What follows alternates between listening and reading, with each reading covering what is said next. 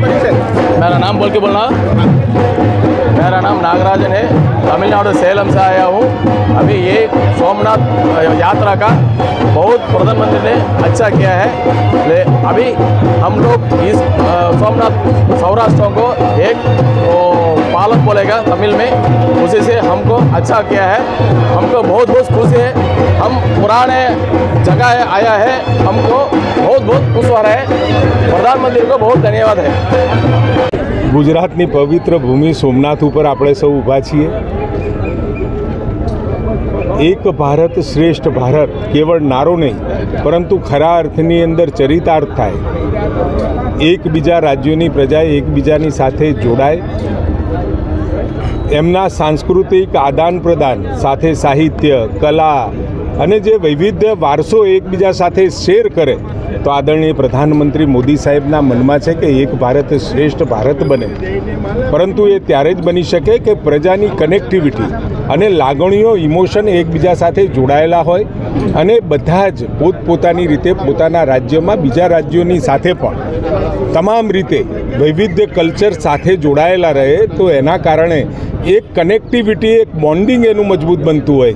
અને એમાં પણ જ્યારે અહીંયા સૌરાષ્ટ્રના જે આપણા વાસીઓ હતા જે તે વખત યમનોના આક્રમણના કારણે અહીંથી ગુજરાત છોડી અને જુદા જુદા દક્ષિણના પ્રાંતોમાં વસ્યા. એમાં પણ તમિલનાડુમાં જઈ અને ત્યાંની, ત્યાંના રાજાએ પણ જે રાજ્યાશ્રય આપ્યો અને રાજ્યાશ્રયના કારણે ત્યાં જઈ અને સાકરમાં, દૂધમાં સાકર ભળે એ રીતે ભળી ગયા અને ત્યાંની સંસ્કૃતિને આગળ વધારવાનું કામ એના વેપારની અંદર અને એ રાજ્યને મજબૂત બનાવવા માટે આપણા ગુજરાતવાસીઓએ ત્યાં પણ મહત્ત્વનું યોગદાન આપ્યું છે. પરંતુ એમની મુખ્ય માતૃભૂમિ સાથે જોડવાનો કાર્યક્રમ સૌરાષ્ટ્ર તમિલ સંગમ, એક ભારત શ્રેષ્ઠ ભારત અંતર્ગત આપણે આ કરી રહ્યા છીએ. આના કારણે છેક દક્ષિણથી પશ્ચિમ સુધી પશ્ચિમથી તે પૂર્વ સુધી બોન્ડિંગ બનાવવાની જે વાત હમણાં જ તમે જોયું કે માધવપુર મેળાની અંદર ભગવાન કૃષ્ણના લગ્ન જ્યાં થયા હતા એવા પૂર્વોત્તરના રાજ્યમાંથી આપણા રૂક્ષ્મણીજીને અહીંયા પરણીને લાવ્યા હતા. એટલે સાંસ્કૃતિક વિરાસત તો આપણી છે. ભગવાન રામ અયોધ્યાથી નીકળી અને છેક દક્ષિણ સુધી. અને એમાં પણ સીતાજીનું હરણ થયું અને જે અન્યાય થયો એમાં દક્ષિણ ભારતીયોએ પણ ખૂબ મોટો સાથ આપ્યો હતો. એટલે જ સીતાજીને લઈ અને અયોધ્યા પરત ફર્યા હતા. આમ એકબીજા સાથેની સાંસ્કૃતિક આપણી જે વિરાસત છે એ ભારતની મહાનતા અને એને ખૂબ મોટી, મોટું બનાવવાનું પ્લેટફોર્મ એક ભારત શ્રેષ્ઠ ભારત થકી થવાનું છે. વેપાર ઉદ્યોગમાં પણ વેપાર વિનિમય પણ વધી રહેવાનો છે. આના કારણે એક ભારતને ઝડપથી કનેક્ટિવિટી વધારી અને દુનિયાની અંદર સર્વપ્રથમ ભારત એ રીતની ભાવના ઊભી કરવા માટે આપણે સૌ કટિબદ્ધ છીએ. ત્યારે આપણા જ ભાઈ ભાંડુઓને આપણી ધરતી ઉપર આવકારતા અને ખૂબ લાગણીસભર દ્રશ્યો જોવા મળ્યા.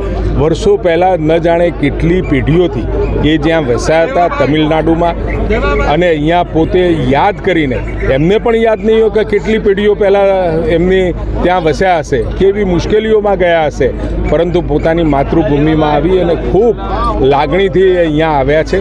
અને Somnath, Dwarka, Statue of Unity વગેરે જગ્યાએ જઈ અને પોતાનો વર્ષો પહેલાંનો જે ઇતિહાસ હતો કનેક્શનનો એ પણ ઉજાગર કરશે સર ખાસ કરીને વાત કરવામાં આવે વિશ્વવિખ્યાત એશિયાટિક સિંહો પણ જોવા જવાના છે. તો વર્લ્ડમાં ફેમસ છે એ વસ્તુ અહીંયા એ લોકોને કેવી રીતે નિહાળવા માટે સરકારે વ્યવસ્થા આપણા મહેમાનો છે આપણા જ ગુજરાતવાસીઓ છે. એ જ્યારે ગુજરાતમાં આવ્યા હોય ત્યારે શક્ય હોય એટલું પાંચ દિવસમાં એમને ગુજરાતનું દર્શન કરાવવાનો ગુજરાત સરકારનો સંકલ્પ છે. આજે ગુજરાતમાં એક ઐતિહાસિક દિવસ છે, કારણ કે સૌરાષ્ટ્રવાસીઓ જ્યારે મોગલોએ સૌરાષ્ટ્રના મંદિરો અને પ્રજા ઉપર જ્યારે જુલ્મ થયો, ત્યારે એક હજાર વર્ષ પહેલાં અહીંના આપણા ભાંડુઓ તમિલનાડુ બાજુ સ્થળાંતર કરી દરિયાઈ માર્ગે ગયા અને એના એકાદ હજાર વર્ષ ત્યાં છે.